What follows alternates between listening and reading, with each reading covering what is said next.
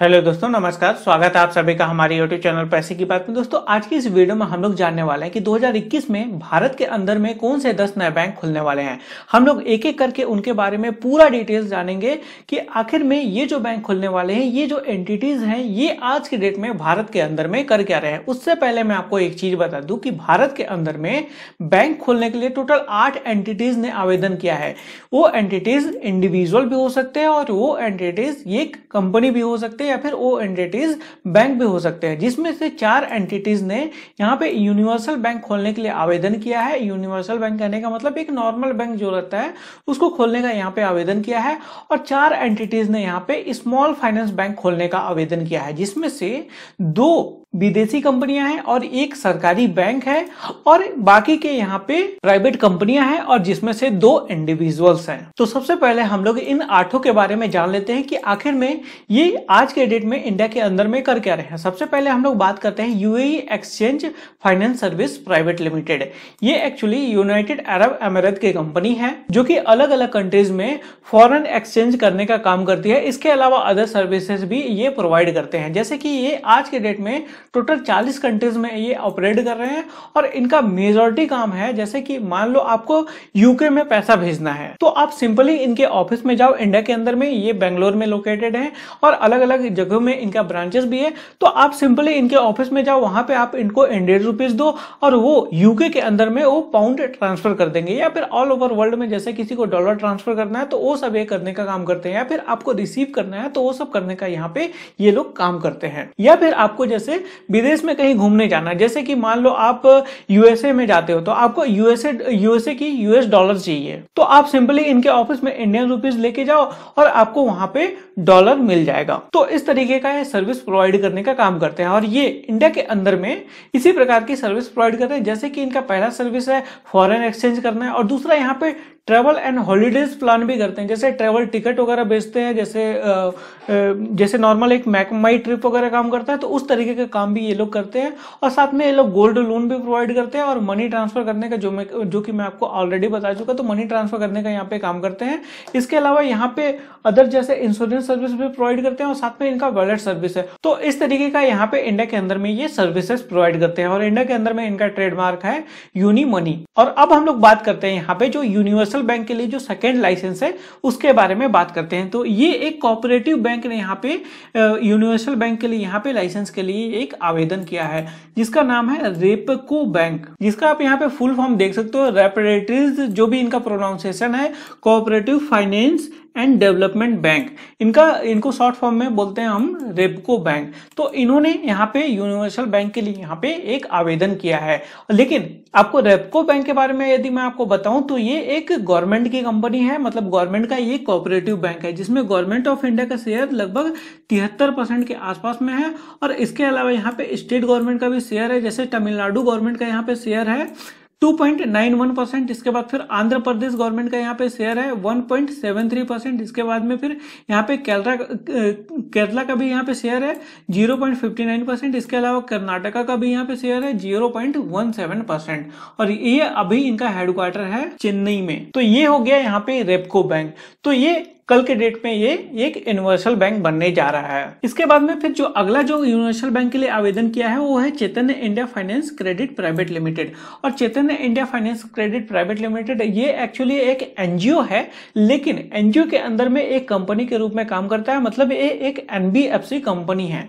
तो ये लोग क्या करते हैं? एनजीओ एंड एनबीएफसी कंपनी के हेल्प से मतलब इनका ही एक सब्सिडी है, उसके हेल्प से ये लोग क्या करते हैं? रूरल एरिया में छोटे छोटे उद्योग के लिए यहाँ पे लोन वगैरह प्रोवाइड करते हैं। जैसे आप यहाँ पे देख सकते हो, यहाँ पे ग्रामीण इलाकों में यहाँ पे दुकान वगैरह खोलना या फिर जैसे कुछ उद्योग वगैरह लगाना छोटा मोटा उद्योग वगैरह लगाना तो इस तरीके का यहाँ पे फाइनेंस करने का यहाँ पे काम करते हैं। तो ये कल के डेट में यहाँ पे इन्होंने बैंकिंग लाइसेंस के लिए आवेदन किया है। तो चेतन ने इंडिया फाइनेंस प्राइवेट लिमिटेड का आपको भविष्य में आपको बैंक भी देखने को मिल सकता है। इसके बाद में जो यूनिवर्सल बैंक के लिए अगला आवेदन है, वो किया है पंकज वैस जी ने और इनके साथ में अदर लोग भी भी है यहाँ पे, लेकिन मेनली यहाँ पे पंकज व्यास जी का नाम है। और पंकज व्यास जी कौन है? ये एक सिटी बैंक के बैंकर रह चुके हैं। तो इनका बैंक आपको भविष्य में देखने को मिल सकता है। अभी इनके बैंक का नाम क्या होगा, इसके बारे में अभी कोई भी जानकारी नहीं है। जब इनको लाइसेंस मिल जाता है, इसके बाद में फिर पता चलेगा कि इनके बैंक का नाम क्या होने वाला है। इसके बाद में फिर जो स्मॉल फाइनेंस बैंक के लिए आवेदन किया है, उसके बारे में हम लोग जानते हैं। तो जो पहला आवेदन है, उसका नाम है V soft technology private limited तो वी सॉफ्ट टेक्नोलॉजी क्या है? ये एक्चुअली क्या करता है,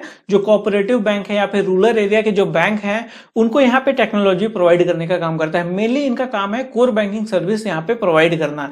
तो इन्होंने भी यहाँ पे बैंकिंग लाइसेंस के लिए आवेदन किया है और ये जो कंपनी है, ये यूएसए की कंपनी है। और उन्नीस से ये ऑपरेट कर रहा है और एक यूएसए की जो स्टेट है जॉर्जिया वहाँ की एक कंपनी है। तो भविष्य में आपको वी सॉफ्ट का यहाँ पे स्मॉल फाइनेंस बैंक आपको देखने को मिल सकता है। इसके बाद में स्मॉल फाइनेंस बैंक खोलने के लिए जो अगला आवेदन किया है, उनका नाम है सिटीगट city service cooperative bank limited ये एक्चुअली एक कोऑपरेटिव बैंक है, जैसा कि इसके नाम से भी स्पष्ट हो रहा है और ये एक्चुअली केरल में इसका हेडक्वार्टर है और केरल की ये कोऑपरेटिव बैंक है। तो इन्होंने यहाँ पे स्मॉल फाइनेंस बैंक खोलने के लिए आवेदन किया है। तो 2021 में आपको यहाँ पे सिटीगेट का, यहाँ पे स्मॉल फाइनेंस बैंक आपको देखने को मिल सकता है। इसके बाद में स्मॉल फाइनेंस बैंक खोलने के लिए अगला आवेदन किया है अखिल कुमार गुप्ता ने। अखिल कुमार गुप्ता कौन है? ये एक्चुअली भारतीय इंटरप्राइजेस के वाइस चेयरमैन रह चुके हैं। तो इन्होंने यहाँ पे स्मॉल फाइनेंस बैंक खोलने के लिए आवेदन किया है। अब क्या इनको स्मॉल फाइनेंस बैंक खोलने के लिए लाइसेंस मिलता है और इनके बैंक का क्या नाम रहेगा, वो हमको आने वाले टाइम में पता चलेगा, जब इनको लाइसेंस मिल जाता है। इसके बाद में जो स्मॉल फाइनेंस बैंक खोलने के लिए जो अगला आवेदन किया है, उनका नाम है द्वारा Kshetriya Gramin finance service private limited और एक्चुअली इनका काम है यहाँ पे ग्रामीण इलाकों में यहाँ पे लोन वगैरह प्रोवाइड करना। जैसे कि आप यहाँ पे देख सकते हो, मैं आपको नीचे स्क्रॉल करके दिखा रहा हूँ। आप यहाँ पे देख सकते हो यहाँ पे छोटे छोटे उद्योगों के सेटअप के लिए यहाँ पे उन्होंने लोन प्रोवाइड किया है। साथ में कृषि के लिए यहाँ पे और जो हैंडीक्राफ्ट जो प्रोडक्ट्स होते हैं, उनके लिए यहाँ पे लोन वगैरह प्रोवाइड कर रहे हैं। और इसके अलावा भी मतलब ग्रामीण इलाके में इनका मेन काम है छोटे छोटे उद्योग वगैरह सेटअप करने में ये हेल्प करते हैं। मतलब ये एक एनबीएफसी कंपनी की तरह ये काम करते हैं। और ये जो है, काफ़ी बड़ी कंपनी है और काफ़ी रेप्यूटेड कंपनी है और ये मोस्टली यहाँ पे साउथ इंडिया में ये काम करते हैं और इनका हेडक्वार्टर चेन्नई में है। और इंडिया में अभी ये गिने चुने स्टेट में अभी ये ऑपरेट कर रहे हैं। तो भविष्य में आपको यहाँ पे द्वारा क्षेत्रीय स्मॉल फाइनेंस बैंक आपको देखने को मिल सकता है। तो ये तो हमने यहाँ पे बात किया टोटल यहाँ पे आठ बैंक के बारे में।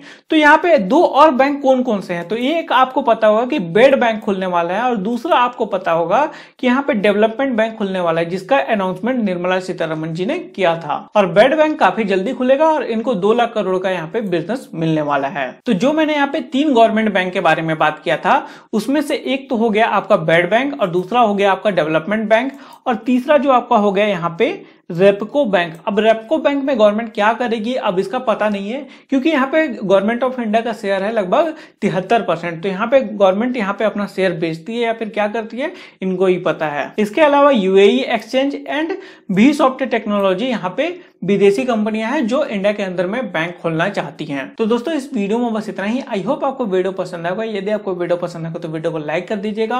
और यदि आप चाहें तो अपने फ्रेंड एंड फैमिली के साथ में इस वीडियो को शेयर कर सकते हैं, ताकि उनको भी पता चल सके कि भारत के अंदर में कौन से दस नए बैंक खुलने वाले हैं। और हमारे मोटिवेशन के लिए और आपको नोटिफिकेशन मिल सके, इसके लिए आप चैनल को सब्सक्राइब कर सकते हैं और सब्सक्राइब करने के बाद में बेलाइकन को भी दबा सकते हैं।